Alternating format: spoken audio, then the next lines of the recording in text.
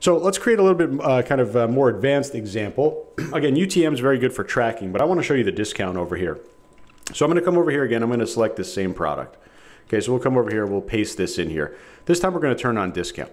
And I mean, it couldn't be any simpler. We have the option to do percentage, we have the option to do fixed amount, and we have the option to use our own coupon code if we had already created one inside of our Shopify admin. We don't need to create one over here because we're going to actually just use an automatically created one by Shortly.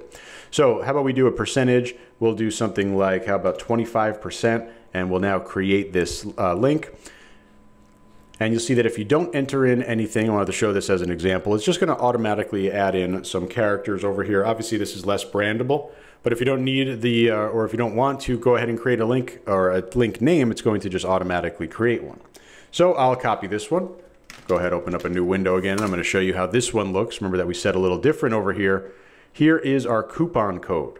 So we have our coupon, we have our little incentive over here. Let's say you run an ad that says, or you have an influencer saying, hey, click on my link for 25% off. Here's that coupon code. We can click to copy it. And we're going to have all the tracking still preserved just like we would with the other link, but now we have a discount bar enabled on top of here. And we could even kind of go back and uh, show you analytics again. We're going to see this new entry right, right over here. And we'd see the orders, we'd see any uses of discount codes and things like that.